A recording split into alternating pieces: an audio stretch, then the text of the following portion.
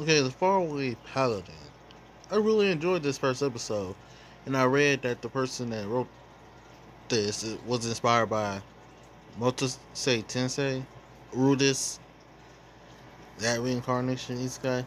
I really like this one. I think this might be like second or third anime I would to watch where the magic is has to be written or uh, written out in words to be used. And I like that.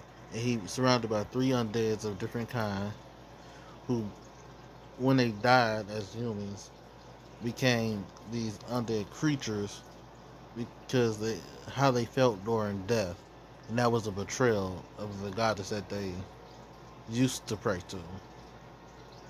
Which is messed up because it's like you expecting them to just be all right, regardless of how they died. Which I'm guessing we're gonna find out how they all died eventually. And I'm enjoying all the characters so far.